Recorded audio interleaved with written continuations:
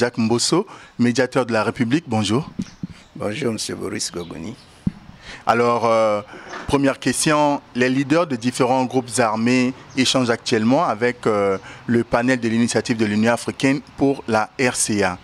Alors, quel est le niveau d'implication du Conseil national de la médiation dans la mise en œuvre de l'initiative de l'Union africaine pour la paix en RCA Je vous remercie pour cette question qui euh, m'est souvent posée. Le niveau d'implication est important puisque vous savez, le Conseil national de la médiation a été dissous en 2013. Il a fallu attendre la constitution de 2016 pour qu'il euh, puisse être euh, remis sur selle. Et son installation officielle ne date que de, du 28 mars 2017. Or, l'initiative qui est allée jusqu'à devenir l'initiative africaine est parti de, du chef de l'État, euh, le professeur euh, Fossin qui, dès sa prise, dès son accession à la magistrature suprême du pays, avait lancé un appel, donc dès le 30 mars 2016, avait lancé l'appel à ses concitoyens qui sont dans les groupes armés afin qu'ils puissent déposer les armes et venir le retrouver pour construire le pays il s'est trouvé que jusqu'au mois de novembre 2016, euh, cet appel n'avait pas été entendu. Et donc, sur ce fait-là, le président Touadéra est allé voir son, grand frère et homologue du Tchad, le président Déby, pour euh, demander à ce qu'il puisse l'appuyer dans soutenir cet appel-là et l'appuyer un peu dans les démarches qu'il euh, entend mener pour que la paix revienne définitivement dans le pays. Euh, c'est alors que le président Déby, avec euh, lui, ils sont tombés d'accord pour dire qu'il vaut mieux que la, question soit portée au niveau des chefs d'État de la CEMAC.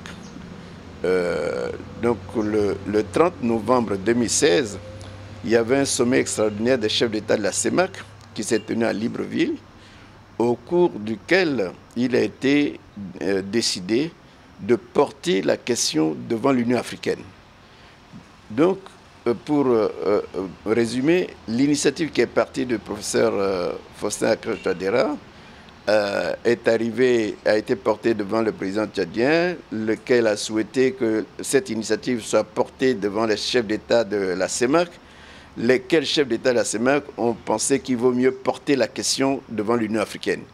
Donc l'initiative actuelle dont la mise en œuvre est en cours remonte à cette date-là, où le Conseil national de la médiation n'existait pas encore. Hein, je vous ai dit que c'est seulement le, 28 mars 2017 que le Conseil a été euh, euh, réinstallé. nonobstant cette, circonstance-là, euh, dès le mois de juin 2017, le Conseil national de la médiation a été invité pour assister à la réunion de tous les États et organisations qui ont initié une procédure de médiation en République centrafricaine.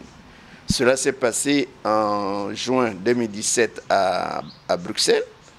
Euh, cette circonstance nous a permis de pouvoir être au courant des différentes initiatives qui ont été prises, de pouvoir rencontrer les, auteurs de ces initiatives-là et puis d'en savoir un peu plus sur le développement. C'est donc à l'issue de cette réunion de Bruxelles au cours de laquelle tous les porteurs d'initiatives en matière de paix étaient réunis et au cours de, au cours le, gouvernement centrafricain euh, conduit par euh, son chef, le professeur euh, Mathieu Simplice Sarandi, était venu avec une proposition de feu de route pour la sortie de la crise euh, avait donc, ce gouvernement centrafricain avait donc rencontré euh, une délégation de l'Union africaine qui elle-même était venue avec une proposition de feu de route. Alors, il a été décidé à Bruxelles que les deux feux de route devraient être fusionnés.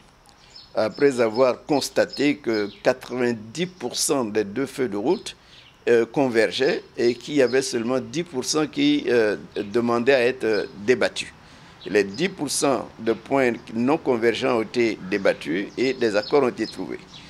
C'est donc euh, à l'issue de cette réunion de Bruxelles qu'il a été donc demandé, en fait deux décisions ont été prises. La première, c'est que les deux auteurs des, propositions de feux de route se rencontrent aussitôt après la réunion de Bruxelles pour pouvoir fusionner leurs deux feux de route. Et puis, euh, il a été également décidé que tous ceux qui étaient présents autour de la table puissent soutenir cette initiative.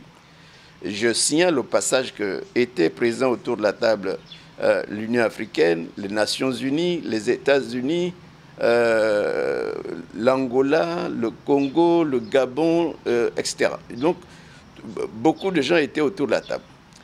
Et, donc, euh, il était entendu, l'OIF aussi était présent, donc il était entendu que tous ceux qui participaient à cette réunion de Bruxelles devraient soutenir la feuille de route une fois qu'elle aura été fusionnée et établie. C'est ce qui a été fait donc le 17 juillet 2017 à, à, Libreville. Depuis, donc, cette feuille de route-là comprend plusieurs dispositions. Et parmi les dispositions qui étaient prévues, il, y a, euh, donc le, il a été mis en place un panel de facilitateurs de l'Union africaine qui est donc euh, dirigé par le représentant du, président de la Commission de l'Union africaine et qui comprend des représentants de la CEAC, e des États qui sont porteurs d'initiatives. Donc euh, cette, euh, ce panel-là est appuyé par un secrétariat technique euh, qui est confié à la CEAC, dont le représentant dans notre pays est l'ambassadeur Nayo.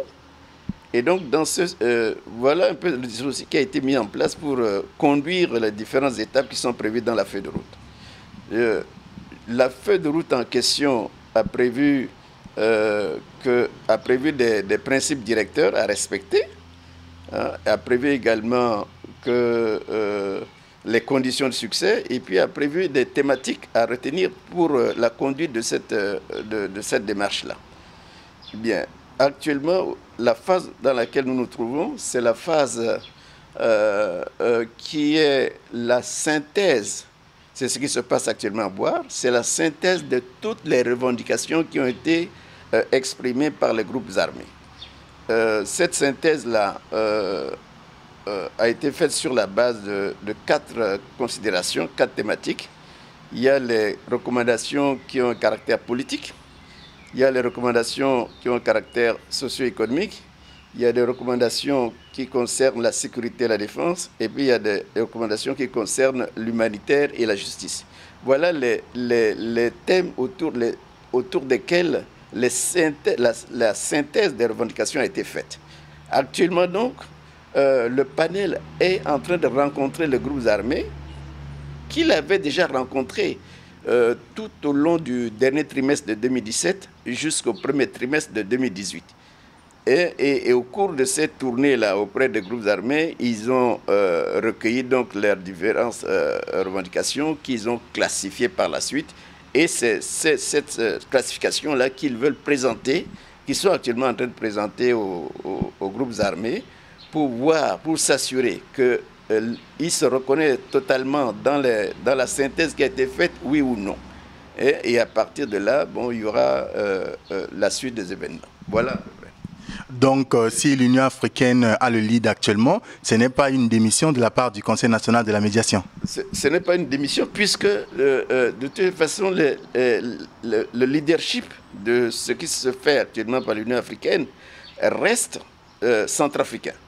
C'est un projet centrafricain, le leadership reste centrafricain et le Conseil national médiation, j'ai oublié de le mentionner, en plus d'avoir été associé à la réunion de Bruxelles, est membre de ce, du secrétariat technique de ce panel.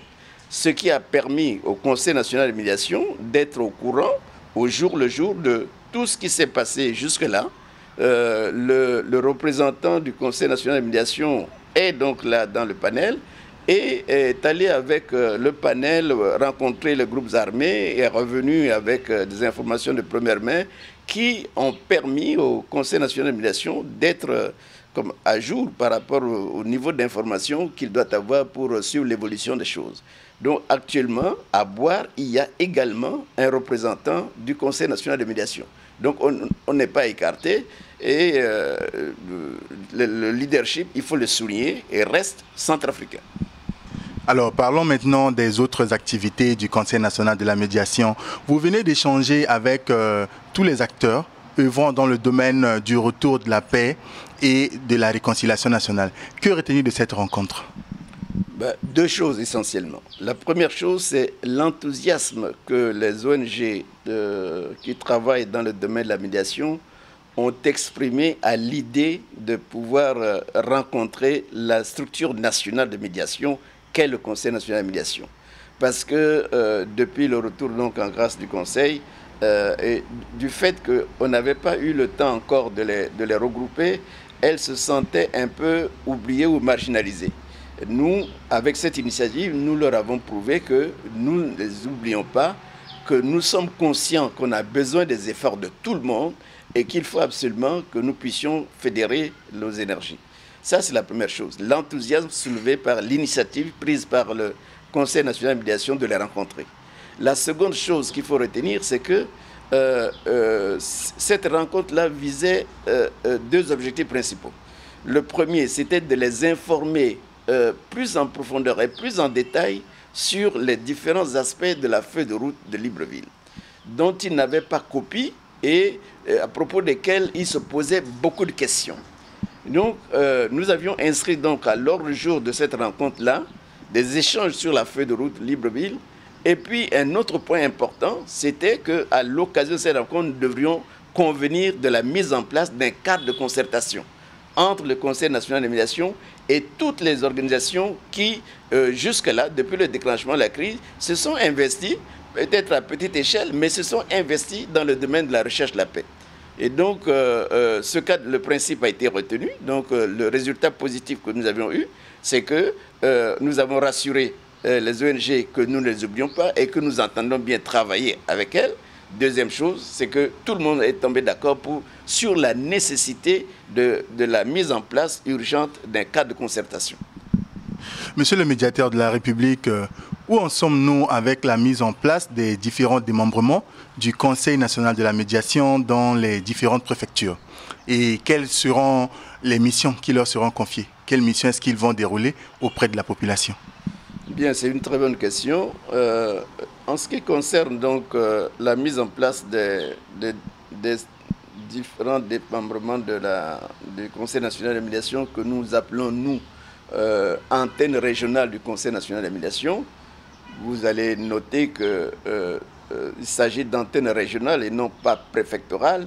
Ça veut dire qu'il ne s'agit pas pour nous, dans cette première phase, de mettre des antennes euh, dans chaque sous-préfecture ou préfecture, mais de réunir deux à trois préfectures pour créer une antenne dans une, dans une première phase, avant de voir les problèmes qui peuvent surgir, de les traiter d'abord avant de passer à une seconde phase qui pourrait connaître la mise en place dans, toutes les préfectures et euh, dans certaines communes. Donc, dans cette, euh, euh, pour cette première phase-là, nous avions, d'abord, il fallait créer juridiquement. Donc, la loi organique nous demandait de pouvoir mettre en place ces antennes. Nous avions donc, au niveau du Conseil, élaboré un projet de création de ces antennes que nous avions débattu au niveau de nos réunions hebdomadaires. Hein, tous les mercredis, nous nous réunissons. Et à, cette, à, cette, à ces occasions-là, nous avions adopté le projet. Et donc, le, au plan juridique, les, antennes régionales sont créées. Maintenant, pour la phase d'installation, il faut, il faut se mouvoir pour aller dans les, dans les régions pour pouvoir euh, euh, installer ces antennes régionales. Euh, pour se mouvoir, il faut des moyens de mobilité, c'est-à-dire des véhicules. Jusqu'à présent, nous n'en avions pas. Hein. et dans le, dans le budget de 2017, 2018, le gouvernement a bien voulu prévoir une rubrique pour nous permettre l'acquisition des moyens roulants pour pouvoir euh, effectuer ces déplacements-là. Donc euh, c'est en cours. Je pense que dans les prochains jours, parce que ça fait 3-4 mois que nous, nous, suivons la procédure, euh, elle est sur le point de, s'achever. Et donc nous pensons qu'à l'issue de cette procédure, nous allons pouvoir avoir au moins un, premier moyen roulant pour faire les, premières installations. En ce qui concerne les missions, parce que c'est le second aspect de votre question, en ce qui concerne les missions dévolues à ces antennes régionales, elles ne peuvent pas différer des missions même de la structure nationale. Ce sont les mêmes, sauf que ce serait à des, euh, comment dire, au niveau des structures, au niveau de leur localité. Elles, euh, euh, elles seront des, structures de proximité, donc les problèmes seront peut-être moindres, mais la nature, la nature des missions sera la même. Il s'agira de pouvoir aider nos concitoyens à pouvoir défendre leurs droits lorsqu'ils sont bafoués par une administration décentralisée ou bien euh, déconcentrée. Mais il s'agira aussi lorsqu'il y a des, bruits, il y a des, signes précurseurs ou annonciateurs d'une crise quelconque, de pouvoir essayer d'anticiper en rencontrant les partis et en essayant de trouver une solution qui permette de tuer dans l'œuf la, crise. Donc ce travail-là, c'est le second aspect de la mission euh, nationale du Conseil national médiations, qui est celle de faire des propositions de solutions en matière de prévention, de gestion et de résolution des conflits de toute nature. Et donc ce serait, euh, pour, pour me résumer, les, les mêmes missions que, que l'organe national, sauf que c'est à, à, une échelle moindre au niveau de chaque localité. Et je dois ajouter, pour terminer sur ce point, que en cas de, lorsque les problèmes euh, vont prendre une certaine ampleur, euh, il aurait demandé de, porter le problème rapidement à la connaissance de la structure nationale pour que la structure nationale puisse euh, dépêcher euh, des conseillers nationaux sur place pour les appuyer. Alors, vous venez d'évoquer quelques difficultés, donc euh, j'ai envie de vous demander quelles sont les difficultés, les autres difficultés auxquelles fait face le Conseil national de la médiation, et aussi pourquoi est-ce que les attentes de la population centrafricaine restent grandes vis-à-vis de l'institution dont vous avez la charge, surtout les centrafricains des régions? Oui, euh, je comprends parfaitement que les attentes puissent être très fortes du côté de nos concitoyens, euh, en, province surtout, parce que c'est surtout là-bas que les gens vivent, vivent des situations difficiles, où les, gens, où les, femmes accouchent dans la brousse, ou etc., où les gens courent dans tous les sens. Donc euh, la, situation là-bas est extrêmement grave. Mais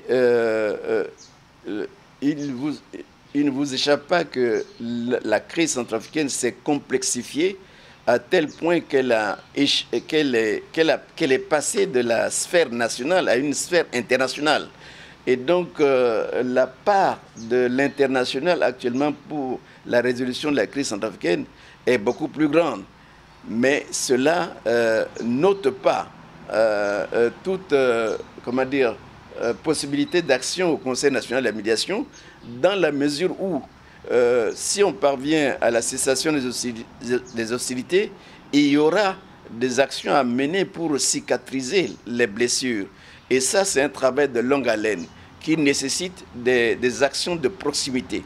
Et les actions de proximité, nous les mènerons avec euh, nos antennes régionales, avec euh, nous-mêmes au niveau, au niveau central, pour que nous arrivions à des transformations individuelles à des transformations euh, collectives, c'est-à-dire au niveau des communautés, hein, et, même à des transformations institutionnelles pour arriver à pouvoir cicatriser les, plaies.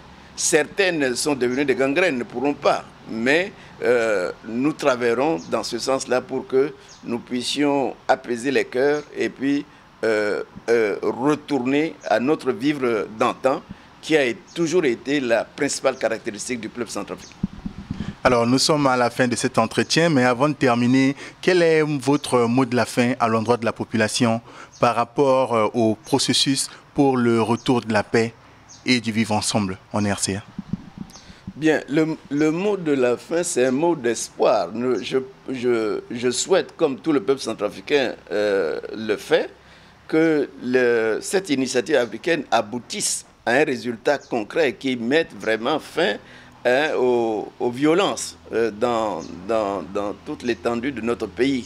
C'est vraiment ce, ce, que je souhaite et ce que le peuple centrafricain souhaite. Donc, euh, actuellement, le, ce que fait le, le, travail que fait le panel de, de, l'Union africaine porte tous nos espoirs.